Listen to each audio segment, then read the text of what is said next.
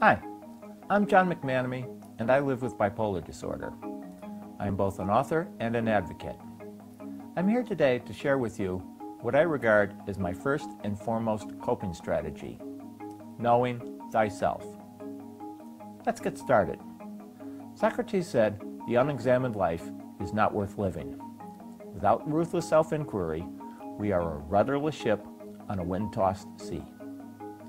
As a first step, I needed to learn to reach acceptance with my illness, embrace it even. Then I was in a position to manage my illness rather than my illness managing me. But this was not enough.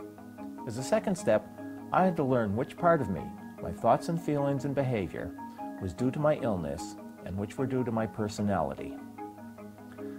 This is the distinct distinction between state and trait. State is part of our illness. Trait is part of our personality. Let me give you an example. Often I am animated and enthusiastic. Is this a bad thing? Way more often than not. I am productive, sociable, and generate good ideas. So maybe I'm really exuberant, not manic. Likewise, I feel down much of the time. But guess what? I find myself contemplative, intro introspective, and highly focused. So maybe I'm just thinking deep rather than being depressed. But there are times when mania and depression do take over my brain. I don't feel right. I can't think straight. And I can't control my behavior. This is my true illness, one that needs to be treated. It took me years to figure this out. There is one more twist to this. My personality can often get in the way of my recovery.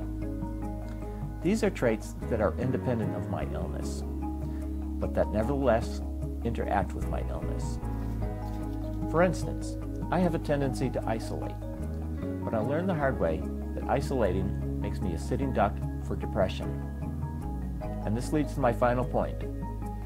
Each one of us is unique. What may be normal for me may not be normal for you.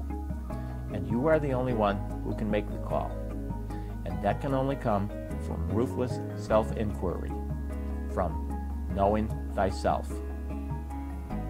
Self inquiry also involves getting feedback from others. Establish a good working relationship with your doctor and therapist. Reach out to the people around you. Find support and become your own expert patient and advocate. This is John McManamy. For more information, visit Google and type in bipolar disorder support groups. Thank you for watching and live well.